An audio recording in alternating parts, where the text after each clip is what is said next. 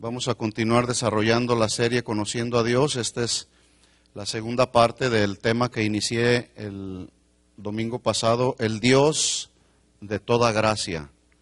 Dice el apóstol Pedro, capítulo 5, versículo 10, mas el Dios de toda gracia, que nos llamó a su gloria eterna en Jesucristo, después que hayáis padecido por un poco de tiempo, Él mismo os perfeccione, afirme, fortalezca y establezca. Termina el versículo 11 concluyendo así el apóstol Pedro, y a Él sea la gloria, el imperio, por los siglos de los siglos. Amén. Amén.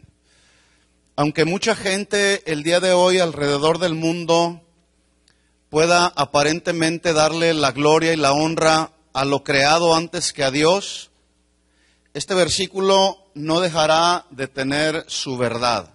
A Él es la gloria, a Él es la honra y a Él es el imperio por los siglos de los siglos. Independientemente de que alguien pueda decir, yo creo en esto, yo creo en aquello, esa es su verdad. Pero los que hemos nacido de nuevo, los que conocemos a Dios, podemos entender y saber y tener claro que Dios es el único que merece toda la gloria y toda la honra, nadie más.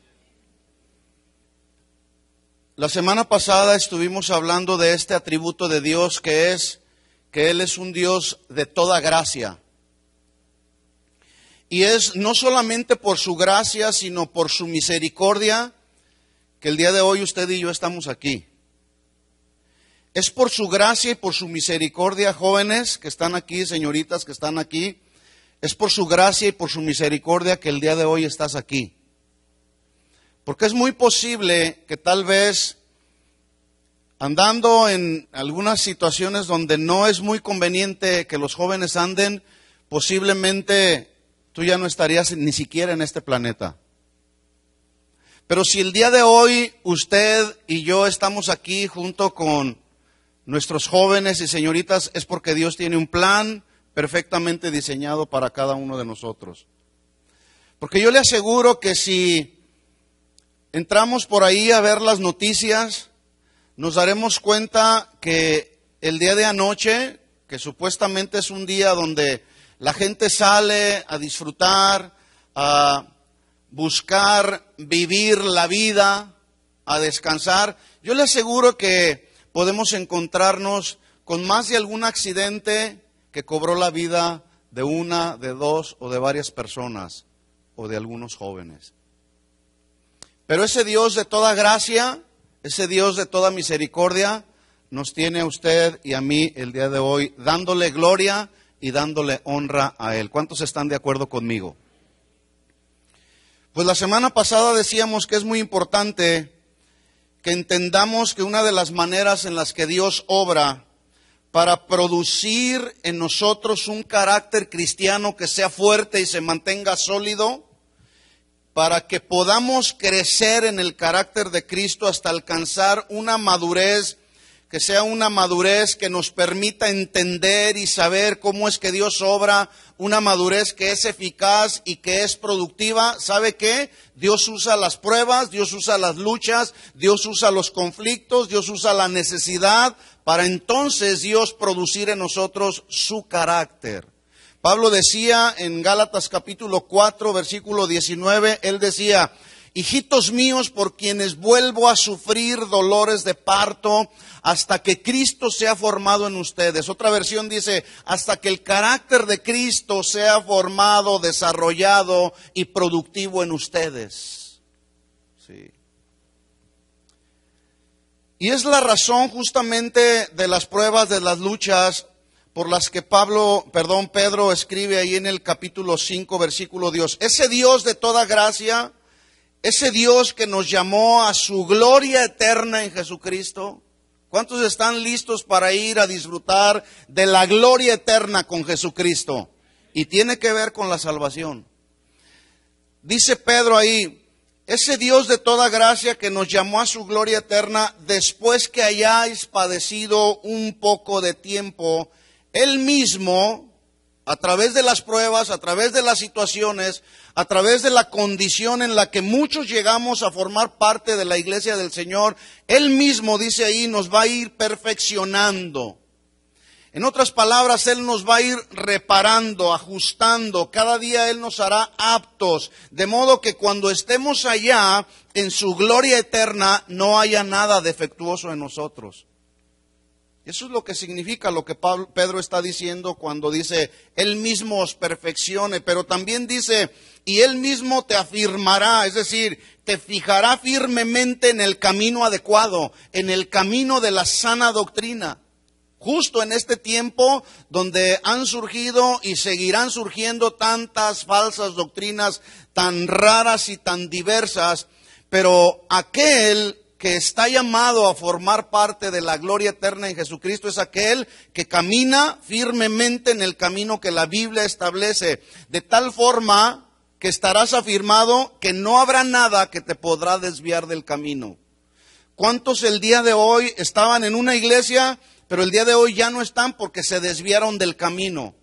Por eso es que necesitamos que Él día tras día en nuestra vida nos vaya afirmando. Y luego Pedro usa otra palabra y Él mismo te fortalezca habla de una fortaleza física, pero también habla de una fortaleza que es más importante, la fortaleza espiritual que todo cristiano nacido de Dios necesitamos desarrollar para que cuando nos enfrentamos a las pruebas, a las luchas, a las dificultades, nuestra vida cristiana pueda ser una vida cristiana que esté fuerte, bien sólida en la roca que es Cristo. Y usa últimamente, la última palabra que usa es y Él mismo os establezca. Es decir, Él mismo colocará sobre nosotros una base como una roca sólida en donde se pueda consolidar y fundamentar la vida de un cristiano. Y le digo esto, la vida de un cristiano no se puede consolidar ni se puede fundamentar en las emociones tampoco se puede consolidar y fundamentar en lo que tengo en la mano materialmente hablando.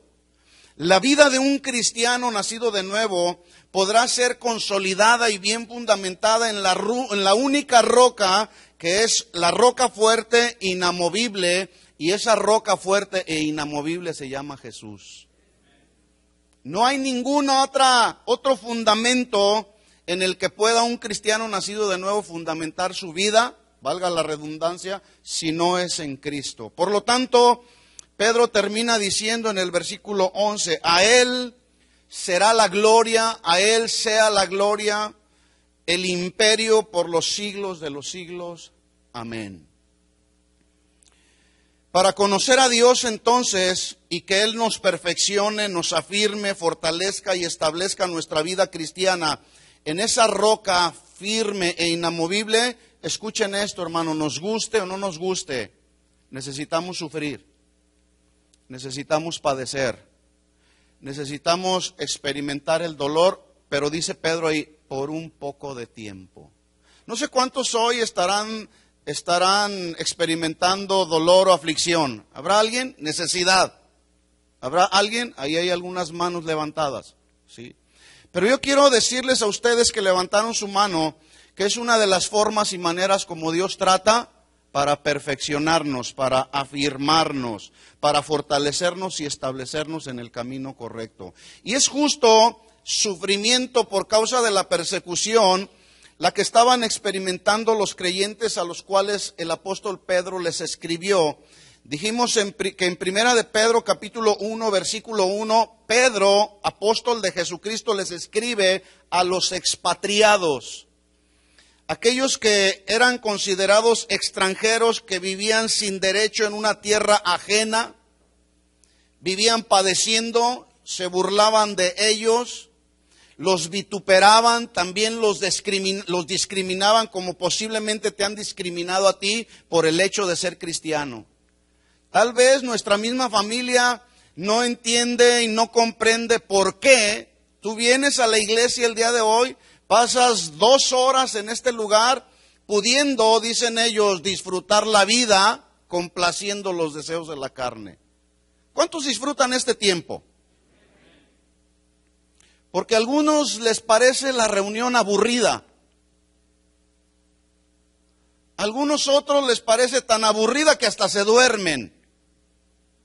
Algunos otros les parece tan irrelevante estos momentos de alabanza y de adoración que se la pasan poniendo textos y muchas otras cosas más antes que estar adorando a aquel que es digno de toda gloria y de toda adoración. Pero cada quien. Déjeme decirle que la persecución que estaban experimentando los hermanos a los cuales Pedro les escribió no es una persecución, por lo menos hasta el día de ahora, que nosotros estaremos experimentando, estamos experimentando. En aquel tiempo la persecución hablaba de que todo aquel que era cristiano y se llamaba cristiano y defendía su posición como cristiano le costaba la vida. El día de hoy la persecución a la que nos estamos enfrentando yo la llamo una persecución religiosa, donde el día de hoy hay muchos que han hecho de sus convicciones doctrinales personales, las han hecho el Evangelio de Jesucristo, porque así piensan y así suponen que es el Evangelio de Jesucristo. ¿sí? Lo cual significa que los que hemos nacido de Dios necesitamos fundamentar nuestra vida cristiana en su palabra solamente en lo que dice su palabra. Y hay que estar muy atentos a lo que verdaderamente dice la palabra, porque algunos pretenden querer que diga lo que ellos quieren que diga la Biblia. Dice Pedro, mas el Dios de toda gracia. Y gracia se describe en la Biblia en su traducción de diferentes formas. Una, Gracia habla de la disposición para hacer el bien motivada por el amor. No siempre un cristiano fluye obrando en gracia con la motivación del amor, porque nosotros no somos como Dios. Pero gracia es un atributo de Dios en el cual Él siempre tiene el atributo, es decir, Él siempre tiene, mejor dicho, la disposición para hacer el bien y su única motivación es el amor, no solamente por los nacidos de Dios, sino por todo el mundo. Dice Juan 3:16, porque de tal manera amó Dios al mundo. ¿A quién amó? Al mundo. ¿Y qué hizo? Por causa de ese amor que había en él, dio a su hijo, a su único hijo, para que todo aquel que en él crea, no se pierda, mas tenga que vida eterna. Aunque hoy algunos piensen de otra manera. ¿Sí? Gracia habla de la buena voluntad de la que procede una acción que lleva como propósito beneficiar a alguien, aunque ese alguien no lo merezca. Gracia también tiene que ver con un favor que se otorga a otro sin importar que el otro haya hecho un mérito alguno. Por eso es que al principio yo decía, si estamos aquí es por su gracia, porque no merecíamos tal vez estar aquí. Pero su gracia y su misericordia nos ha traído a este lugar. ¿sí? Por eso es que cuando los cristianos nos reunimos, hermanos, es tan triste, es tan penoso ver que hay personas que están haciendo otra cosa tan distinta a lo que deberíamos de estar haciendo cuando los cristianos nos reunimos, que es alabar, adorar a Dios, al que nos dio vida eterna, al que rescató nuestra vida, nuestra alma de la condenación eterna, nos libró del pecado, nos, nos ha ido perfeccionando, nos justificó, nos declaró inocentes, cuando debemos estarle adorando, debemos estarle alabando y venimos a la iglesia a aprender de Él para conocerlo más a Él, están en otro mundo. La Biblia dice que hay tiempo para todo. ¿Sí o no? Y el domingo hay tiempo para venir a reunirnos a la casa de Dios. ¿A qué? ¿A entretenernos? A contarles chistes, a pasar un tiempo nomás para cumplir dos horas aquí, a pensar y a suponer qué bonitas estuvieron las alabanzas, ahora sí me gustaron, ahora sí entonaron las, las alabanzas que a mí me gustan, ahora sí estuvo hermoso el servicio.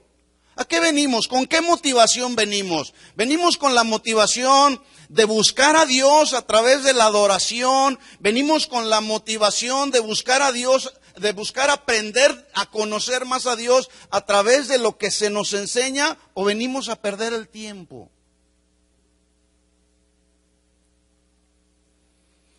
El Dios de toda gracia es aquel que entrega una buena dádiva a quien no ha hecho nada para recibirla. Y eso solamente lo puede hacer Dios. Nosotros somos muy limitados. Sí.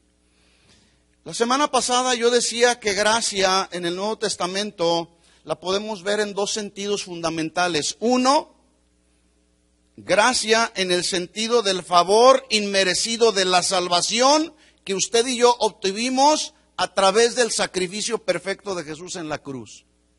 ¿Cuántos tienen salvación? Mire, no todos dijeron amén, porque no todos están seguros que son salvos. No todos han recibido la gracia de la salvación.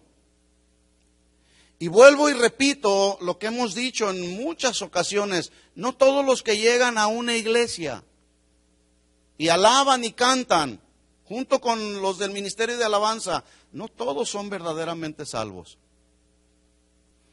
Gracia entonces, uno, es el favor inmerecido de la salvación. ¿Qué merecíamos, hermanos? Merecíamos la muerte. Y gracia también la vemos en el segundo sentido, que tiene que ver con la capacidad que Dios da a aquellos que son suyos, aquellos que son verdaderamente sus hijos, para soportar cuando viene la adversidad.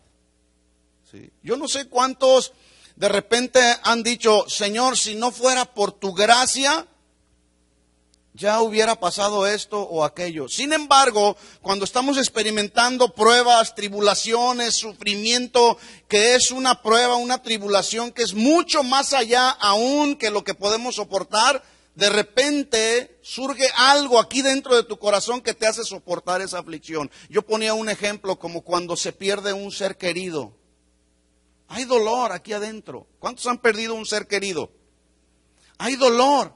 Pero cuando tú conoces a Dios, cuando tú conoces ese Dios de toda gracia y le pides, Señor, en estos momentos difíciles de sufrimiento, porque ya no voy a volver a ver jamás a mi ser querido, por favor, dame la gracia para soportar este sufrimiento. Y Dios la da. Es en estos dos sentidos de gracia a la que Pedro se estaba refiriendo cuando les escribe a los cristianos, vuelvo a repetir, que estaban siendo perseguidos por gente que era anticristiana. ¿sí? Y ellos estaban siendo perseguidos porque odiaban a los cristianos de aquel tiempo.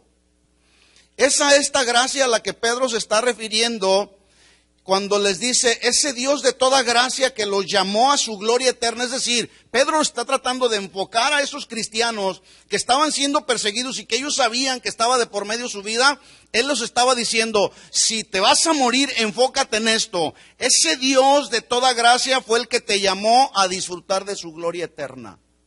Como Pablo decía, para mí el vivir es Cristo y el morir ganancia. Él no le tenía miedo a la muerte. ¿Alguien le tiene miedo a la muerte? Si el día de hoy tú te mueres, ¿estás seguro que te vas a disfrutar de la gloria eterna con Jesucristo? No, todos, se fija que fueron muy pocos amenes. Es importante, hermanos, que pensemos y valoremos si realmente nuestra vida ha tenido la experiencia del nuevo nacimiento. Estamos viviendo tiempos peligrosos. Estamos viviendo tiempos difíciles. Por lo tanto, Pablo decía, aprovechen bien el tiempo.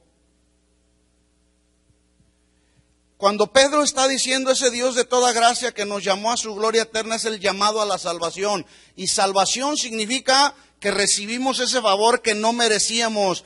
Pudimos recibir ese beneficio de la salvación gracias al sacrificio perfecto de Cristo en la cruz para todo aquel que cree. Porque escúcheme bien esto, aunque muchos el día de hoy saben que Jesucristo murió en la cruz del Calvario para hacernos libres de la maldición, del pecado y de la condenación eterna, muchos no creen que pueden ser salvos a través de ese sacrificio, aunque estén dentro de una iglesia. Dicen, ¿a poco así de fácil?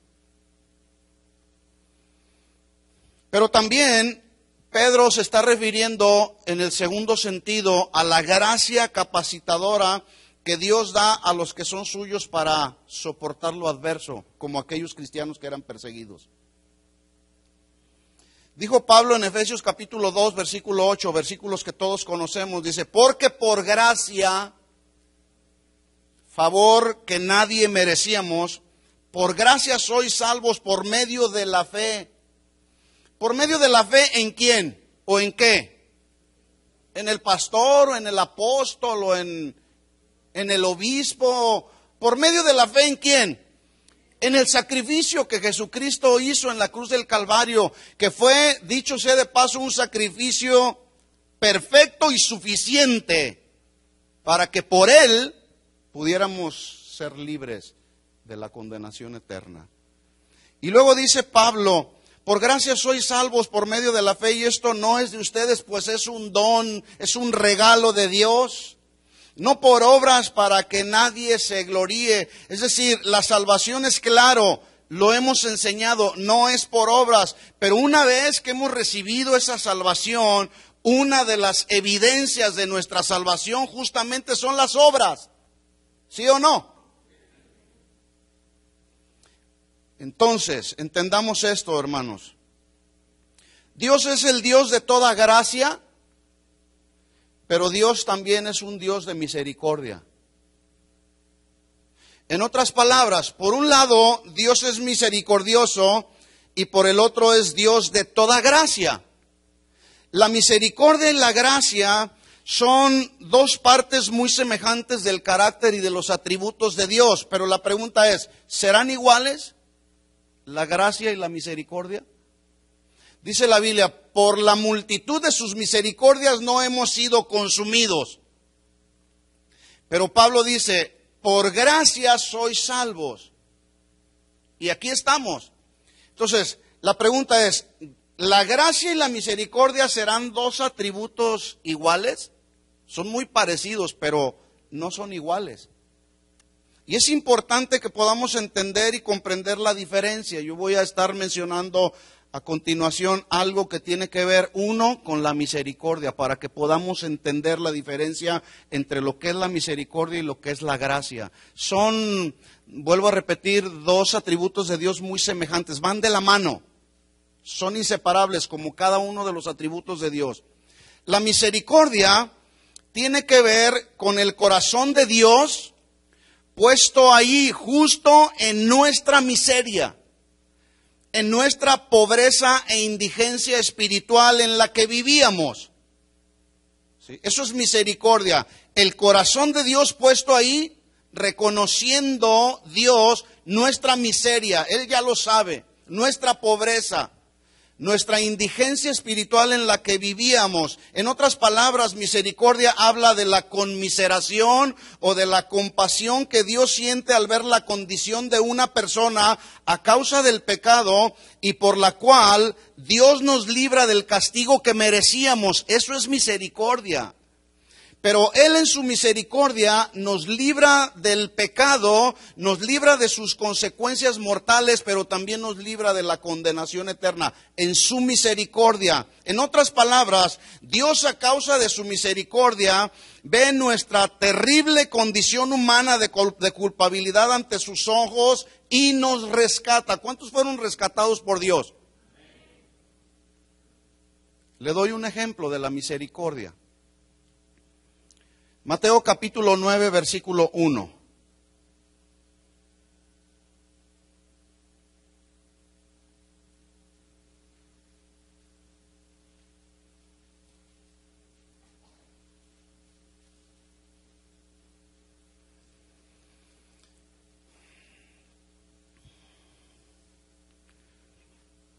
El encabezado al inicio del capítulo 9, como mi Biblia lo menciona, dice Jesús sana a un paralítico.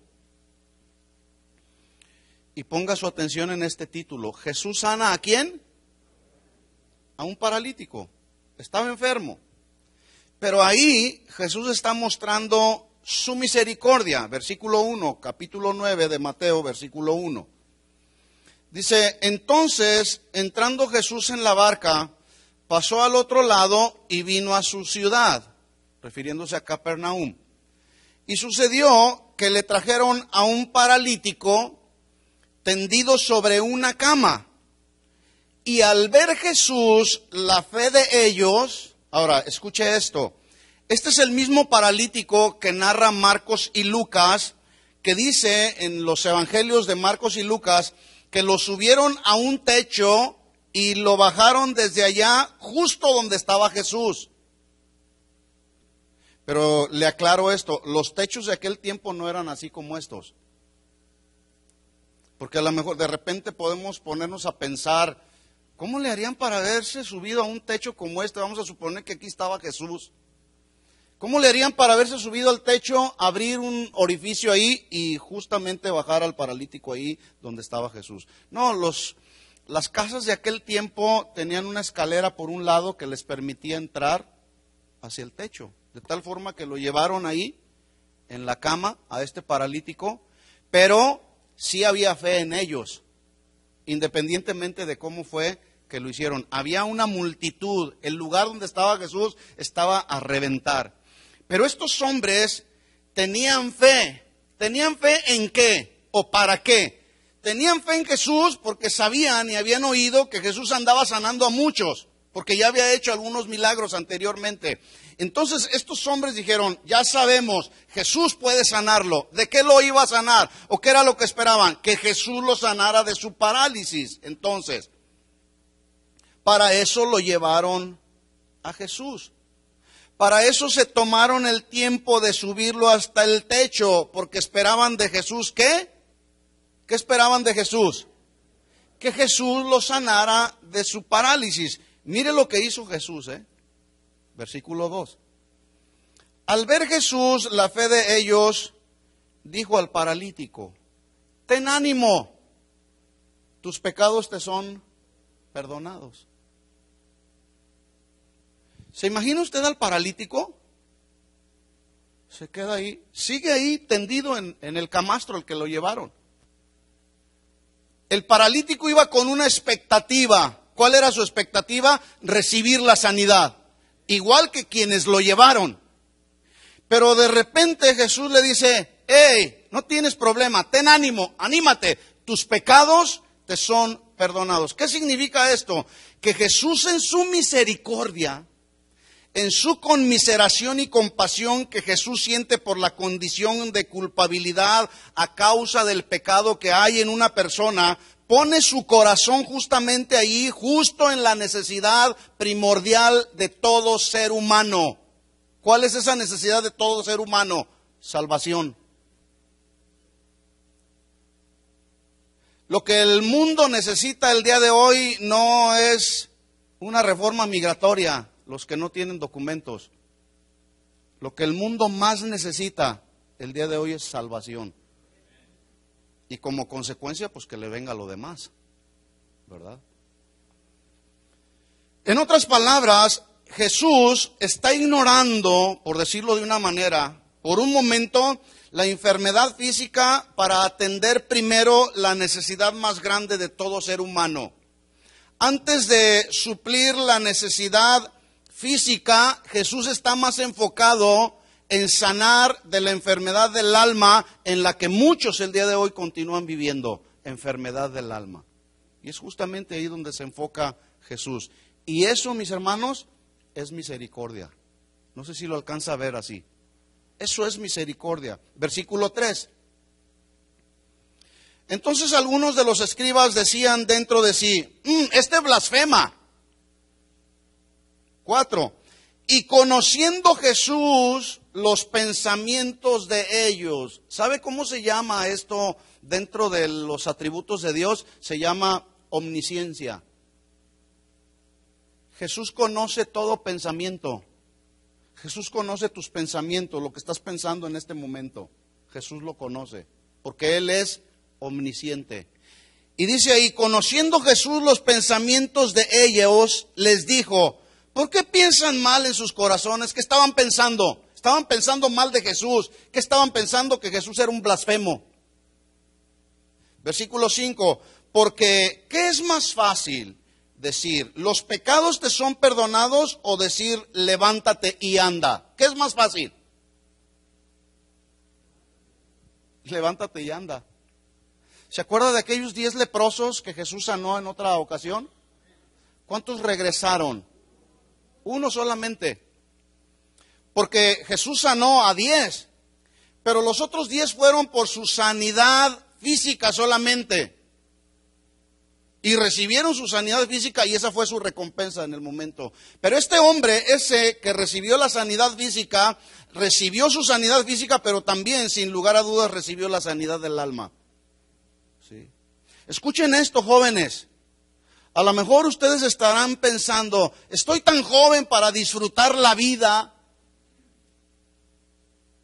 que no puedo concebir en mi mente y en mi corazón continuar viviendo mis mejores años de juventud sin gozar la vida en este mundo.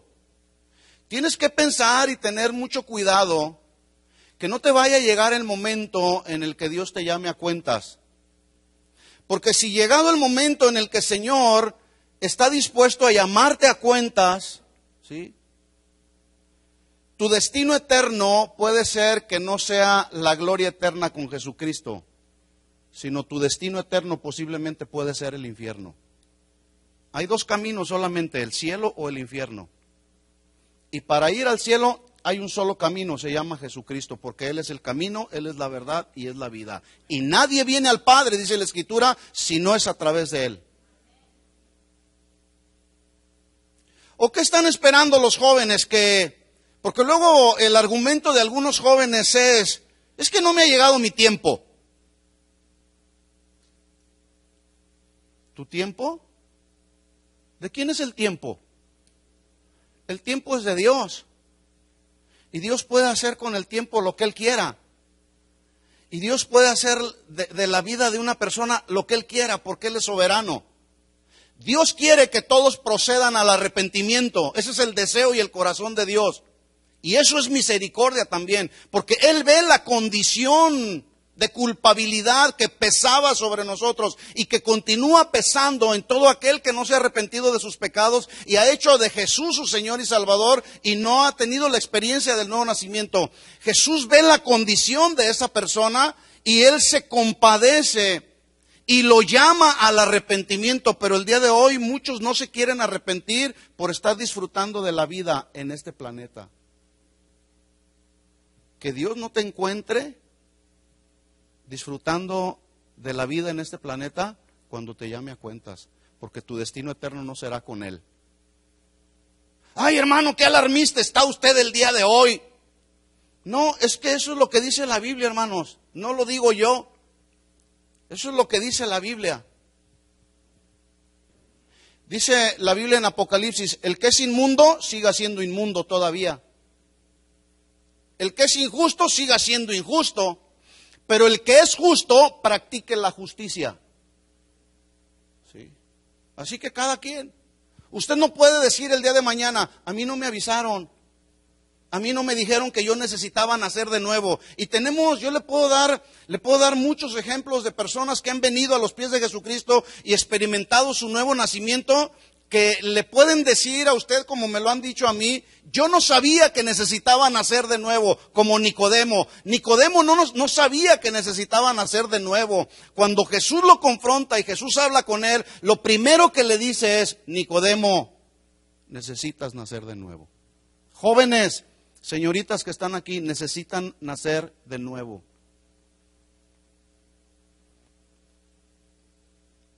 Mientras no venga y experimenten ustedes su nuevo nacimiento, seguirán teniendo problemas con su carne. Lo mismo que los adultos, seguiremos teniendo problemas con los deseos de nuestra carne. hasta que no venga la experiencia de nuestro nuevo nacimiento. Y una vez que viene tu experiencia del nuevo nacimiento y entras en el proceso de santificación, entonces cuando Dios te llame, cuando Él decida llamarte a su gloria eterna, podrás estar seguro que estarás allá con Él. Y si no, estarás en otro lugar, que tú ya sabes dónde es.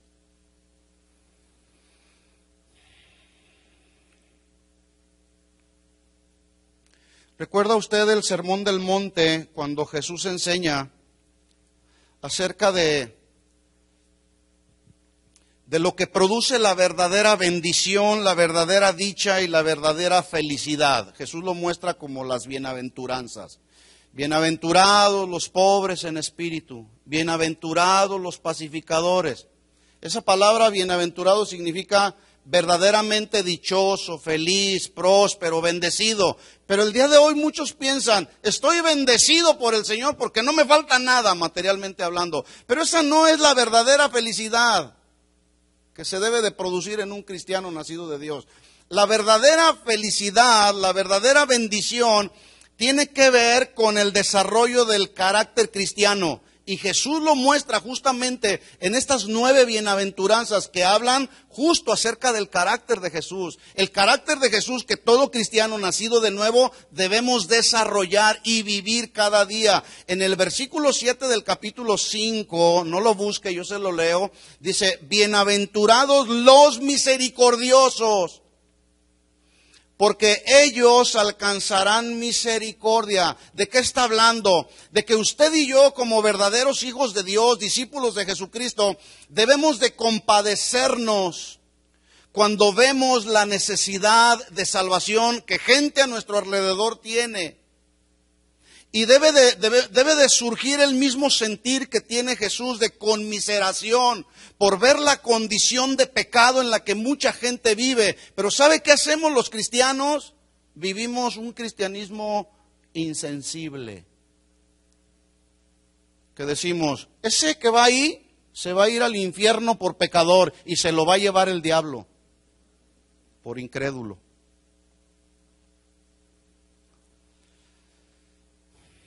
En otras palabras, ahí en todo lo que es el Sermón del Monte, que ya lo estudiamos aquí en alguna ocasión, ahí se habla del verdadero carácter que debe de tener el verdadero discípulo de Jesús, hermanos. ¿Sí? Debemos sentir misericordia, conmiseración por la condición de culpabilidad por causa del pecado en las personas que nos rodean. Y eso, mis hermanos, nos debe de motivar a hablar de buenas nuevas de salvación. Hace unos días me habló un hombre y me dice, gloria a Dios, hermano, con un vocabulario con tanta religiosidad y después de, darme toda una serie de, de halagos y muchas cosas, me dice, le llamo para darle buenas nuevas.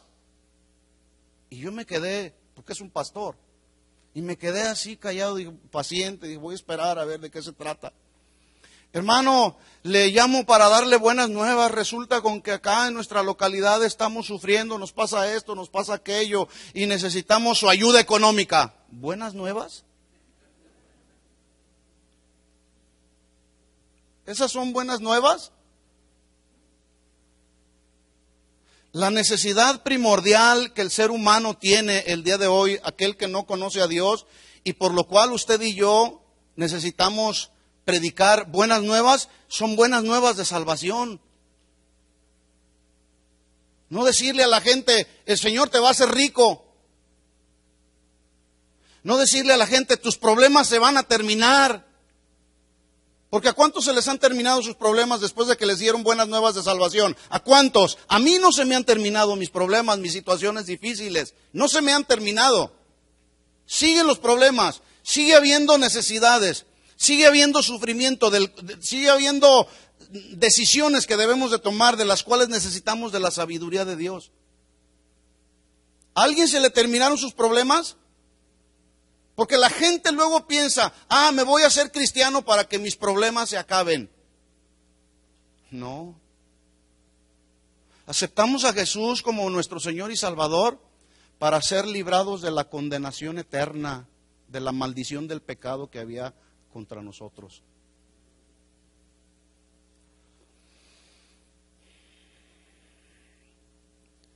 Veamos otro ejemplo de misericordia de Jesús. Ahí mismo en el capítulo 9, pero en el versículo 9.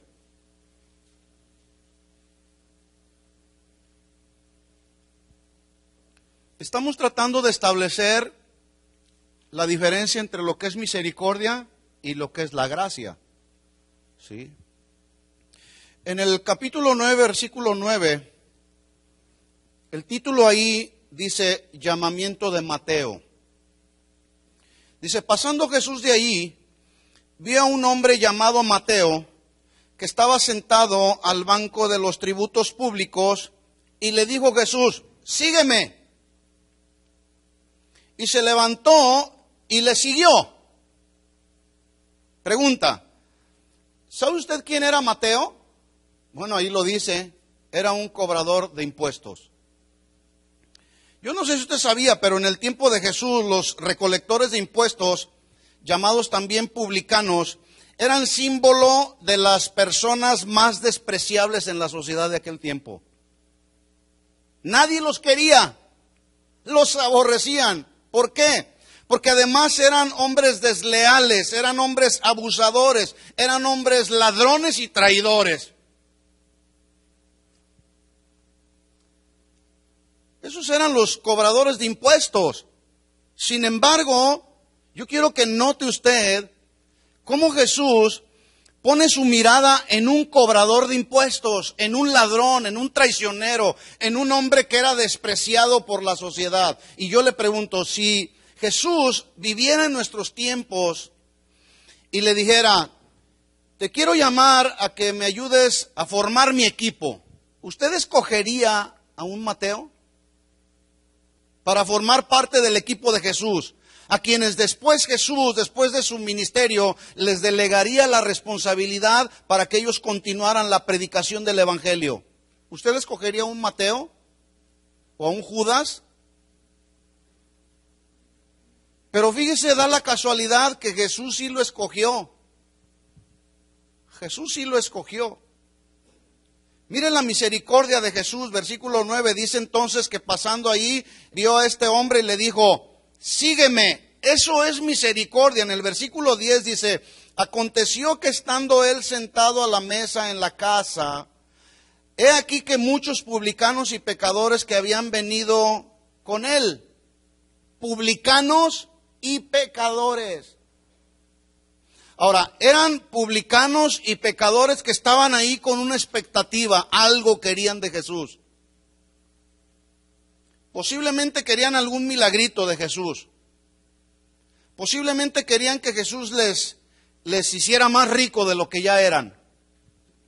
Dice que estando él sentado a la mesa en la casa, he aquí que muchos publicanos y pecadores que habían venido se sentaron juntamente a la mesa con Jesús y sus discípulos. Cuando vieron esto los fariseos, dijeron a los discípulos, ¿por qué come su maestro con los publicanos y pecadores? Al oír esto Jesús les dijo, los sanos no tienen necesidad de médico, sino los enfermos. ¿Quiénes son los que necesitan la sanidad del alma? Los que están enfermos del alma. Y es ahí donde Jesús está enfocando. Eso es misericordia precisamente. El corazón de Dios puesto ahí en la condición del hombre. En este caso, en la condición de estos republicanos, de estos publicanos, mejor dicho, de estos pecadores que estaban enfermos del alma. Ahí Dios puso su, corazón, porque quería salvarlos, porque quería rescatarlos. Eso es misericordia. Dice, los sanos no tienen necesidad de médicos, sino los enfermos. Id pues y aprended lo que significa que misericordia quiero y no sacrificio. Porque no he venido a llamar a justos, sino a pecadores al arrepentimiento. Eso es misericordia, hermanos. No sé si usted está captando lo que misericordia significa.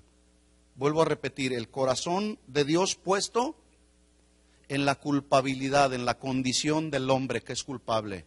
¿sí? por causa del pecado. Versículo 18. Mire otro ejemplo de misericordia. Mientras él les decía estas cosas, vino un hombre principal. En los otros evangelios se le llama Jairo. Era un hombre de autoridad en la sinagoga, era un supervisor. Dice, vino este hombre principal y se postró. La actitud de humillación y de reverencia ante Jesús, diciendo, mi hija acaba de morir, mas ven y pon tu mano sobre ella y vivirá. Y se levantó Jesús y le siguió con sus discípulos. Versículo 20. Y he aquí una mujer enferma de flujo de sangre desde hacía 12 años, se le acercó por detrás y tocó el borde de su manto, porque decía dentro de sí, si tocare solamente el manto, seré salva. Pero Jesús volviéndose y mirándola, en los otros evangelios dice que Jesús se volteó y preguntó, ¿quién me ha tocado? Pero Jesús voltea con esta mujer y mirándola le dice, ten ánimo hija, tu fe te ha qué? Salvado. Y ahí salvación significa librar del azote. ¿Cuál era el azote de esta mujer? 12 años con un flujo de sangre. ¿Sí? Al entrar Jesús 23 en la casa del principal, viendo a los que tocaban flautas y la gente que hacía alboroto, les dijo, apártense de la niña porque no está muerta, sino duerme. Y empezaron a burlarse de él. ¿Sí? Algunos empezaron a decir, se me hace que Jesús ya se volvió loco. Empezaban a burlarse de él. Por eso los echó para afuera, por su incredulidad inclusive. Incluso en aquellos tiempos contrataban gente, les llamaban los llorones eh, para, para que estuvieran ahí en los funerales. Y ahí estaban, llorando. ¿sí? 25 dice, pero cuando la gente había sido echada afuera, entró y tomó de la mano a la niña y ella se levantó y se difundió la fama de esto por toda aquella tierra. Bueno, todos estos hombres, Dios manifestó en ellos, en la persona de Jesús, su misericordia. Entonces, a diferencia de la misericordia, que es la que nos libra del fuego, la gracia no significa que Dios solo nos rescata del mal, sino que además de rescatarnos del mal, nos da el bien que no merecemos. ¿Lo entiende? En otras palabras, Dios no tan solamente nos dice, te libro del mal y de la condenación eterna del fuego del infierno, sino además nos dice, aunque no lo mereces, te proveo el bien que no mereces porque te amo. Eso es misericordia y gracia también. Por lo tanto, ser libres del mal por un lado y recibir el bien por el otro, Ambas son expresiones de su gracia. Es decir, la primera hace resaltar nuestra falta de méritos, pero la segunda engrandece la bondad de Dios. Esta es la revelación del Dios de toda gracia. Es decir, que no solamente nos paga con lo que merecemos, sino que además nos enriquece con la dádiva que no merecíamos, en este caso la salvación. ¿Cuántos recibieron la salvación? ¿Y la merecíamos? No. Entonces, no solo da el pago por nosotros librándonos de la culpa y de los azotes que merecíamos por causa del pecado, sino además nos bendice como si hubiéramos hecho siempre lo bueno. Por eso es que el día de hoy hay gente que dice, yo soy bueno, yo no le hago daño a nadie, yo me porto bien, sí. Hay gente que moralmente es mejor que muchos que se dicen cristianos. ¿Sí o no? No le hacen daño a nadie, no toman, no fuman, no dicen malas palabras. Moralmente son personas bien educadas, respetables, pero escuchen esta verdad, hermanos. La moralidad de una persona hasta el día de hoy jamás le ha salvado. El simple hecho de decir soy moralmente bueno. No, hay que nacer de nuevo. ¿Sí? Esa es la gracia y esa es la misericordia de Dios, hermanos. Barrabás recibió, por un lado, la misericordia, pero también la gracia. ¿Sí? ¿Qué merecía Barrabás? Ser muerto. Pero Jesús tomó su lugar y no merecía lo que realmente se le dio, que fue su libertad. No la merecía. Dios, en la persona de Jesús, manifestó en Barrabás su misericordia y su gracia, que no solamente le dio lo que merecía, sino aparte le añade libertad completa y total. Eso mismo Dios hizo con nosotros, hermanos. Eso es misericordia y gracia. De ese Dios de toda gracia. Dice Pablo en Efesios 2.4, pero Dios que es rico en misericordia por su gran amor, que aunque nos amó, aun estando muertos en nuestros delitos y pecados, nos dio vida juntamente con Cristo. Por gracia sois salvos y juntamente con Él nos resucitó y asimismo nos hizo sentar en los lugares celestiales con Cristo Jesús para mostrar en los siglos venideros las abundantes riquezas de su gracia en su bondad para con nosotros en Cristo Jesús. Por gracia sois salvos por medio de la fe y esto no de vosotros, pues es un don de Dios, no por obras para que nadie se gloríe. Gracia y misericordia de Dios. A lo mejor Tú estás aquí hoy en esta tarde y dices, yo vengo a la iglesia todos los domingos. Está bien. Y cuando se trata de dar una ofrenda, pues doy una ofrenda. O una limosna, dicen algunos. Está bien. Pero déjenme decirles, ni el venir a la iglesia cada domingo, el dar una ofrenda, cada domingo o cuando sientas te va a salvar. Nada de eso nos va a salvar. Solamente la experiencia del nuevo nacimiento y caminar en ese proceso de santificación hasta que Él venga por nosotros o nos llame a cuentas. Hermanos, está viviendo un cristianismo muy cómodo, de mucha comodidad. Se está viviendo un cristianismo de solamente querer escuchar mensajes muy bonitos, que se oigan bien para todos. No hay, es más, hay iglesias el día de hoy donde le dicen a la gente, no necesitas traer tu Biblia, no hay problema. Es más, la Biblia ni la vamos a usar. Aquí todos son bienvenidos, no importa que seas homosexual, no importa que seas lesbiana, no importa que seas un adúltero, no importa, todos son bienvenidos. El asunto es, sí, todos son bienvenidos, pero con el deseo profundo en el corazón de querer arrepentirse y cambiar.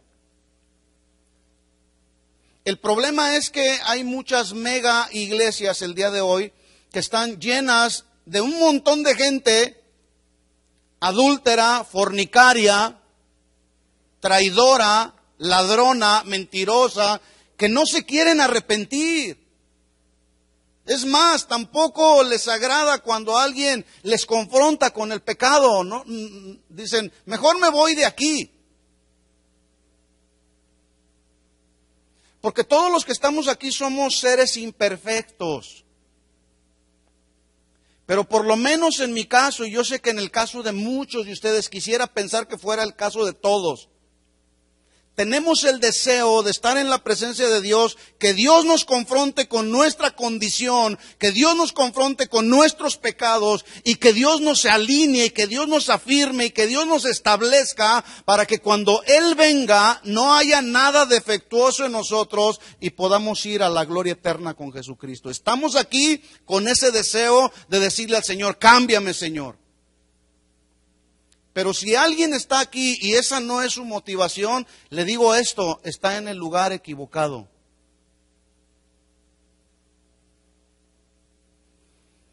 Porque Dios, aunque es un Dios de toda misericordia y de toda gracia, escuchen esto hermanos, también Él es un Dios de ira, que no da por inocente al que es culpable. Están muy serios. Espero que esté pensando y que esté meditando estemos meditando en la condición de nuestra vida.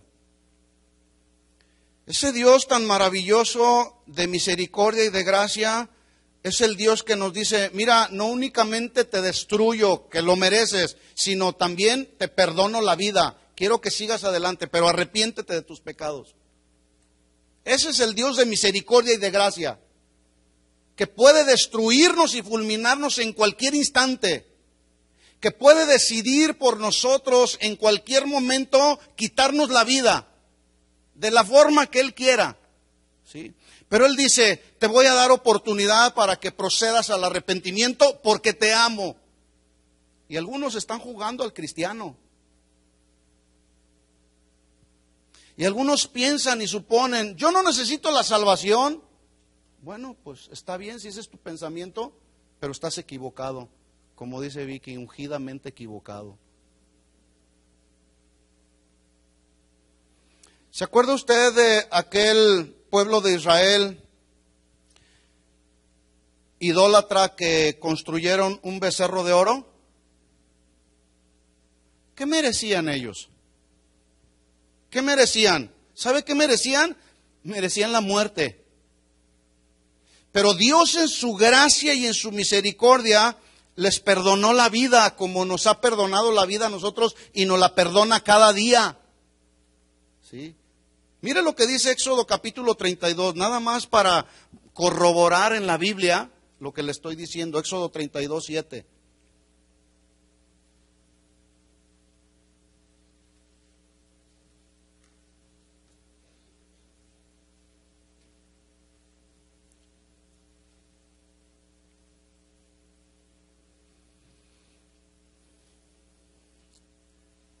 Éxodo 32, 7 dice así, entonces Jehová dijo a Moisés, anda, desciende, porque tu pueblo que sacaste de la tierra de Egipto se ha, ¿qué?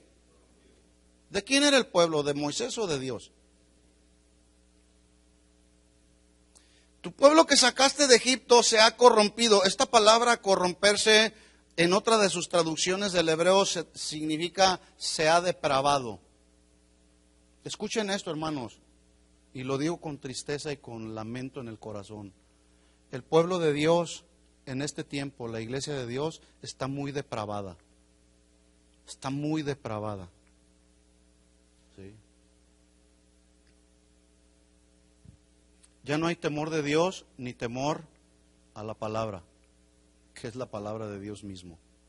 Hacen lo que les da su gana, pastores enseñando tantas herejías que no les importa absolutamente nada. Eso es depravación, corrupción de la mente y del corazón.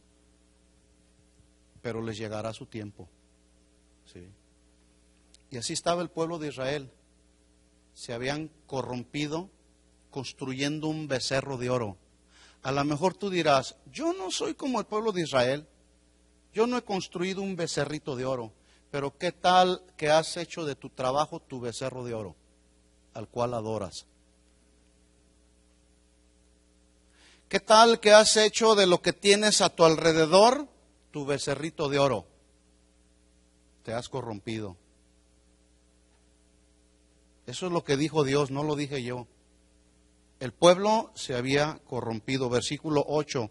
Pronto se han apartado del camino que yo les mandé se han hecho un becerro de fundición y lo han adorado y le han ofrecido sacrificios y han dicho, Israel, estos son tus dioses que te sacaron de la tierra de Egipto. Esos dioses fueron los que sacaron de la esclavitud de 430 años en la que vivió Israel ahí esclavo en Egipto. Esos fueron los dioses que lo sacaron, que no fue el Dios todopoderoso, el Dios de toda gracia y el Dios de toda su misericordia que nos llamó a su gloria eterna. No fue ese el que sacó al pueblo de Israel a ser libre de la esclavitud en la que vivían. ¿Por qué le atribuyeron la liberación a un becerro de oro? porque el pueblo se había relajado y habían dicho, ah, ese Moisés yo no sé qué le pasó allá. Yo voy a construir mi becerro, yo voy a construir mi propia religión. Con que no le haga daño a nadie, con eso es suficiente. No, no es suficiente, discúlpame. es necesario nacer de nuevo. Dijo más Jehová a Moisés, versículo 9, yo he visto a este pueblo que por cierto es pueblo de dura cerviz. La cerviz es esta parte de acá detrás. Estaban duros acá en el cerebro. Ahora pues déjame que se encienda mi ira en ellos. ¿Y qué? ¿Qué merecía el pueblo de Israel? Merecían la muerte. ¿Qué merecíamos nosotros? Merecíamos la muerte. Pero escuchen hermanos, estamos viendo justamente la gracia y la misericordia de Dios que Él tiene, aún a pesar de que somos pecadores. Él tiene compasión y misericordia de nosotros. Dice, déjame que se encienda mi ira en ellos y los consuma, y de ti haré una nación grande. Imagínate que Dios te dice, hazte a un lado, Alejandro. Es más, vente, tú eres mi preferido. ¿Tiene Dios preferidos? Vente aquí y voy a consumir a todos estos, porque son unos idólatras. ¿Qué hubiera pensado Moisés? Está bien, Señor, tú eres el Señor. Consúmelos. Pero ¿sabe? Si Moisés era un siervo que conocía la gracia y la misericordia de Dios, como consecuencia de esa gracia y esa misericordia que había sido manifestada en su vida misma, él actuó justamente en la misma gracia y en la misericordia que Dios tuvo por el pueblo de Israel. Mire lo que dijo Moisés. Deja que se encienda mi ira y de ti haré una nación grande. Versículo 11. Entonces Moisés oró en presencia de Jehová, su Dios, y le dijo, oh Jehová, ¿por qué se encenderá tu furor contra tu pueblo que tú sacaste de la tierra de Egipto con gran poder y con mano fuerte? Y usted termina de leer todo el capítulo 32 y más adelante, y usted se va a dar cuenta que por causa y a resultado de la intercesión de este hombre, Moisés, que en él había sido manifestada la misericordia y la gracia de Dios, en esa gracia y en esa misericordia intercede a Dios para que no consuma al pueblo. Así debemos ser usted y yo. Señor, espérate tantito, no acabes con mi familiar que todavía no te conoce, Señor. Ten misericordia, ten gracia de Él. Espera un poco de tiempo, Señor. Yo te pido y clamo a ti, Señor, por su salvación. ¿Cuándo fue la última vez que oraste por alguien para que recibiera la salvación que realmente necesitan. ¿Cuándo? A veces decimos, yo ya soy salvo, los demás que se vayan al infierno, yo ya gané mi salvación y, y, ya no me voy a preocupar por nada, sino más bien voy a caminar siempre agradándole a Dios y obedeciendo sus mandamientos y los demás que se mueran. Esa no es la actitud y el comportamiento de un verdadero discípulo de Jesucristo, porque la Biblia dice que para todos es la gran comisión. ¿Cuál es la gran comisión? La predicación de las buenas nuevas de salvación. ¿Recuerda usted cuál era su condición? Por un momento quiero llevarlo a ese, punto, hermano. ¿Cuál era su condición antes de conocer al Señor? Si podemos, si pudiéramos hacer aquí en este momento una encuesta o preguntar y que algunos pudieran venir a testificar y decir, ¿de dónde te sacó el Señor? ¿Qué, ¿De dónde te ha sacado el Señor, Antonio?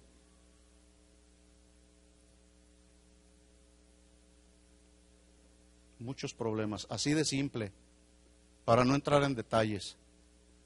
¿De dónde te sacó, Alex? Estar perdido. ¿De dónde te sacó Miguel?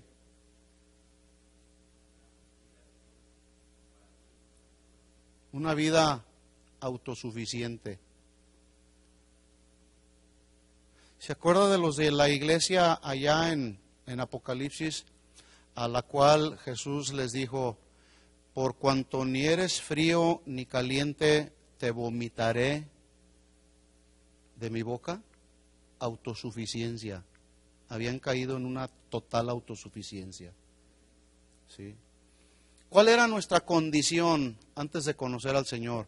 Era una condición pobre, miserable, daba tristeza. Yo creo que nadie, nadie, al haberte visto en esa condición, nadie pudo haber dicho, yo doy un penny por él. Por lo menos en mi caso así era. No, este, incluso a veces decimos nosotros, este ni volviendo a nacer, cambia. Pero sabes, hubo alguien que sí mostró su misericordia. Puso su corazón ahí en nuestra condición. Eso es misericordia. Pero aparte de poner su corazón ahí en nuestra condición pecaminosa, no solamente nos libró de esa condición, sino además nos da vida eterna. Nos da la salvación que no merecíamos. Por un lado es misericordia y por otro es la gracia de Dios. La misericordia perdona nuestros pecados, pero la gracia provee para nosotros eterna salvación al que cree. La misericordia saca a alguien del infierno, pero la gracia nos conduce, a un arrepentido hacia el cielo. La misericordia nos muestra lo sucio y lo maltratado de nuestras ropas por el pecado, pero la gracia nos provee de vestiduras de salvación. Es diferente. ¿Recuerda usted al hijo pródigo? Que significa pródigo, significa el que disipa todo, el que desperdicia todo, el que malgasta todo por causa de la corrupción que hay dentro. Antes de conocer al Señor éramos hijos pródigos. Éramos disipadores, desperdiciábamos todo, desperdiciábamos el tiempo, estábamos corruptos, buscando satisfacer los deseos de nuestra carne, ¿sí o no? Así estaba yo. Sin embargo, como aquel hijo de la parábola en Lucas capítulo 5, así nosotros, la misericordia del Padre, del Hijo pródigo, recibió a su hijo de regreso a casa. Eso es misericordia. Pero además, por la gracia del Padre, estuvo dispuesto a hacerle una fiesta, a cambiarlo de vestiduras, a ponerle un anillo nuevo en su mano. Eso es la gracia de Dios no solamente lo recibió, sino además le hizo una fiesta y dijo, traigan el mejor vestido, traigan el becerro gordo, porque este mi hijo que había perdido ha regresado. Y el padre se regocijó, como Dios se regocija cuando un arrepentido viene a los pies de él. La misericordia nos muestra que por nuestra rebeldía estábamos encerrados en la cárcel de nuestros pecados, mas Dios en su misericordia Abre esa, esa cárcel en su gracia, abre esa cárcel en su misericordia, nos libra de esa cárcel, pero en su gracia también nos añade, no solamente abre la cárcel, sino la gracia que es la añadidura, nos dice el Padre, en la casa de mi Padre muchas moradas hay. Si no fuera así, yo se los hubiera dicho, voy a preparar lugar para, para ustedes. Y si me voy a preparar lugar para ustedes, vendré otra vez para tomarlos a mí mismo, los que son míos, porque donde yo estoy, también ustedes estarán. Eso es gracia por un lado y misericordia por el otro. Entonces, la gracia no significa que Dios solamente nos rescata del mal, sino que además de rescatarnos del mal, nos da el bien que no merecíamos. No tan solo nos dio el, no nos dio el castigo que merecíamos, sino además por su gran amor con que nos amó, nos dio lo mejor que tenía a su Hijo Jesucristo. Y el problema que existe el día de hoy en la vida de muchos cristianos que no reconocen por un lado la misericordia y por el otro la gracia, es que menosprecian justamente que ese Dios de toda gracia nos dio lo mejor que tenía, que era su Hijo unigénito, para que al creer en ese sacrificio perfecto de Jesús fuéramos liberados de la condenación eterna y menospreciamos lo que Dios hizo por nosotros. Y viven vidas cristianas religiosas. Voy el domingo a la iglesia nada más y ya cumplí. El venir a la iglesia los domingos no va a salvar a nadie. ¿Estamos conscientes de eso? Si bien te va. Porque algunos vienen cada dos meses, cada tres meses.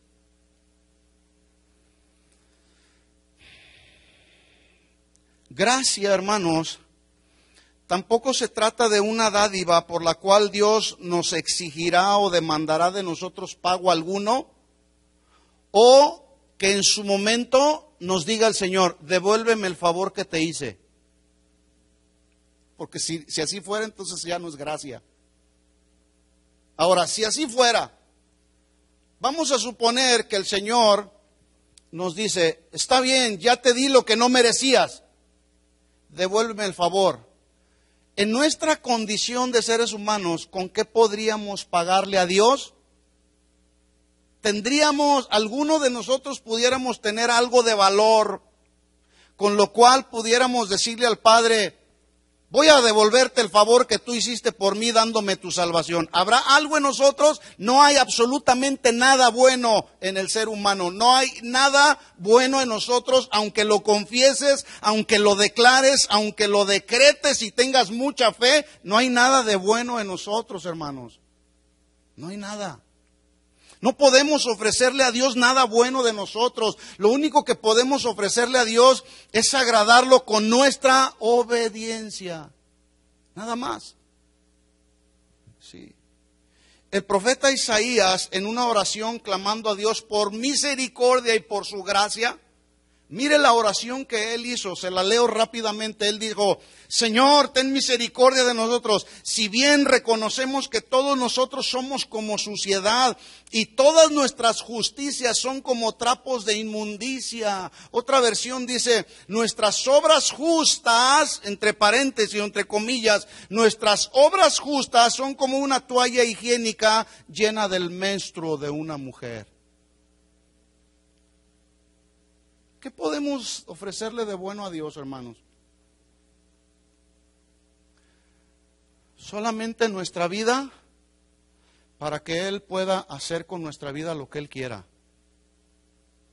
Sí, por eso es que yo no entiendo cómo hay tantos cristianos, ministros, servidores de la iglesia con tanto orgullo y con tanta soberbia diciendo soy el ungido de Dios, porque solamente si yo pongo mis manos los enfermos se van a sanar, porque solamente si yo predico la gente se va a convertir, porque yo tengo el don. ¿El don? ¿Tu don? ¿Cuál don?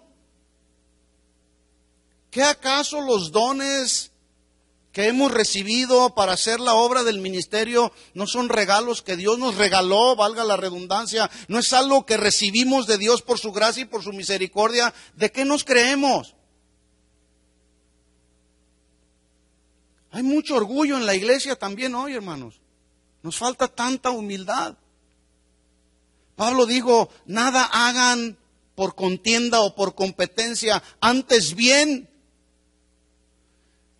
tomemos el ejemplo de Jesús que siendo Dios se humilló y se hizo hombre, se despojó y se hizo hombre. Tomó la forma de hombre, murió como el más vil de los pecadores, pero Dios, cuando Jesús hizo la obra que el Padre le encomendó, Dios lo exaltó y le dio un nombre que es sobre todo nombre, para que todo aquel que se, en él crea, toda rodilla se doble de los que están en el cielo, en la tierra y debajo de la tierra, y reconozcamos que solamente Él es el único que merece la gloria. Nosotros merecíamos la muerte, hermanos. Nosotros merecíamos la muerte. Nosotros merecíamos no estar aquí, pero aquí estamos por su gracia y su misericordia. Y esto es algo que podemos decirle al Señor, gracias Señor. Nada más decirle, gracias Señor, porque tuviste misericordia de mí. ¿Sí o no?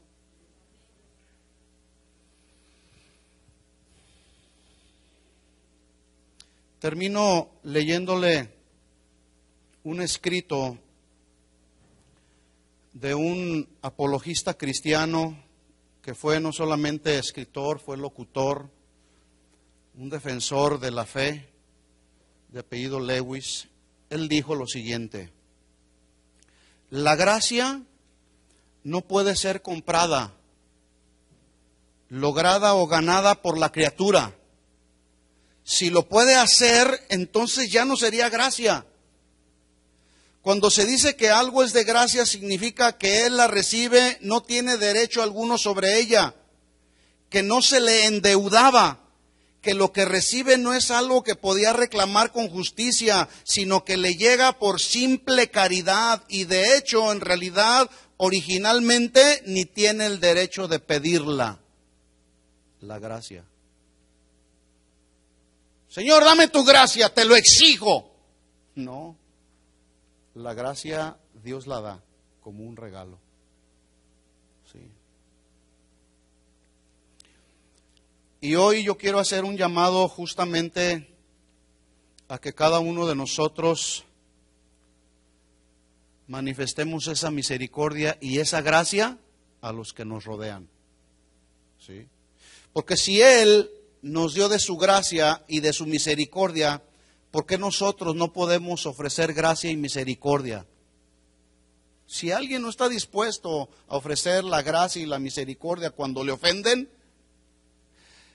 por ejemplo, ¿qué harías si tú eres un discípulo de Jesucristo y alguien te golpea en la mejilla derecha? ¿Qué haces? Puedes hacer dos cosas. Una, o, o desquitas tu error, tu coraje, regresándole y pagándole con la misma moneda, o la otra, pones la otra mejilla. ¿Cuántos estarían dispuestos a hacerlo? ¿Nadie? Wow. Fíjese cómo si estamos dispuestos a que Él tenga misericordia y gracia de nosotros. Pero a veces no estamos dispuestos nosotros a obrar en la misma gracia y en la misma misericordia. ¿Por qué no?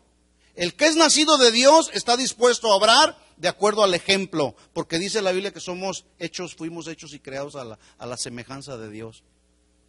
Obviamente no en toda su totalidad, pero debemos de parecernos a Él, ¿no?